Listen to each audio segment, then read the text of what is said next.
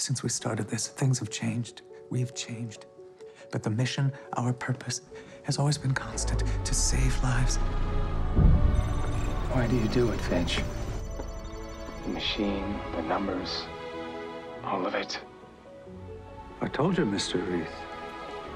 Carol, I have my reasons. I knew you would come, my friend.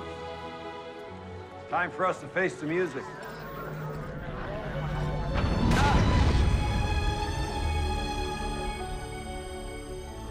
We don't change the world, someone else will.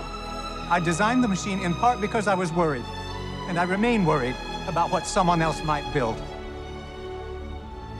Someone who wasn't worried. All games must come to an end. We need to give her the tools to Can you act, see me? not just react. Who's to say that with absolute power, we would be able to control ourselves?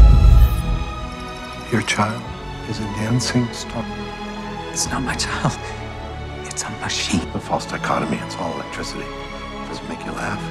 Does it make you weep? We haven't failed yet. Yes. What's more human? I was wondering if my friends get out alive. I wish you wouldn't do this on my account. I'm just protecting a number, Harold. It's what you hired me to do.